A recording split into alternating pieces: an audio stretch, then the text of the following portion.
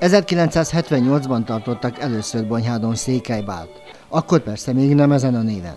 Egy bukovinai székely táncsoport országos televíziós sikere adott lökést a nemzetiség tagjainak, hogy bátran megéljék saját kultúrájukat, és ez a folyamat a mai napig tart. Öröm látni azt, hogy ebben a, a hagyományőrzésben, egyáltalán az identitás vállalásában a, a fiatalok is benne vannak, és szerintem, hogyha a mai gyerekeket is megkérdezzük, hogy ki milyen nemzetiségű, vagy melyik népcsoporthoz tartozik, akkor a székelyek büszkén vállalják a székelységüket, és jó látni egyébként azt is, hogy a, a németek szintén.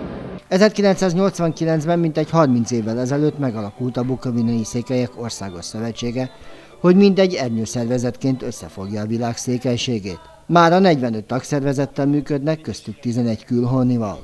Bebizonyította ez a 30 év, hogy, hogy a létjogosultságát ennek a szövetségnek, hiszen a feladata főleg arra összpontosult, hogy programokkal lássa el, összefogja a csoportokat, és mindenképpen egy olyan támogatást adjon, hiszen főleg a mai időkben, ugye, amikor pályázatok meg egyebek is közre játszanak ahhoz, hogy sikeres legyen egy csoport, tehát ennek a funkciónak is mindenképpen meg szeretnénk felelni. A 30 éves jubileum a programokban is vissza fog köszönni. 2019-ben számos eseményt szerveznek a székelyek, köztük ezúttal székely énekverseny is lesz novemberben.